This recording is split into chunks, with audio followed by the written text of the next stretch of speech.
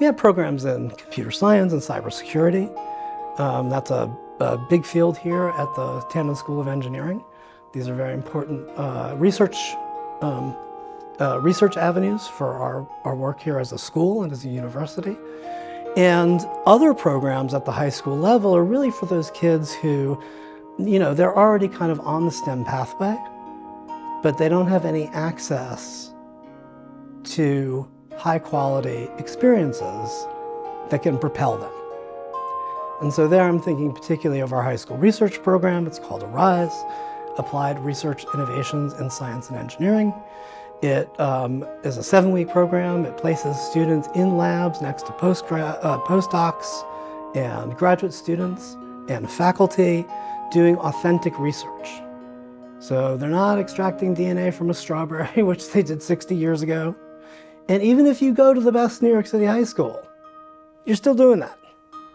You're not doing the innovative stuff that is really today's science and today's engineering. So this is an opportunity for kids uh, young people, again, we're not looking necessarily for the kids with the best grades or the kids with the most uh, accolades or the kids who have already done 28 STEM programs.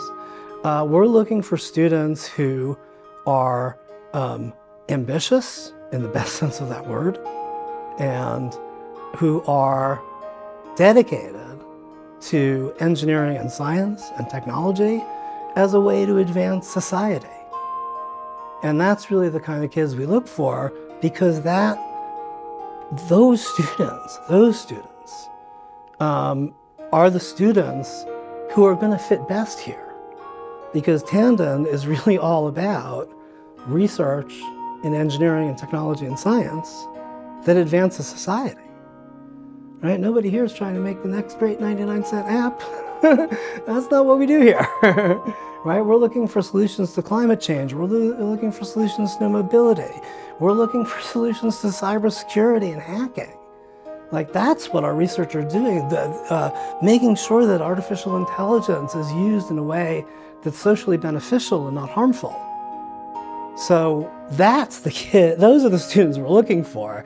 And I will say, and this is really important to emphasize, that what we have learned in all of our experience, um, and I've been here 10 or 12 years, in all of the experience I've had and the staff here has had, um, there are a lot of these students out there.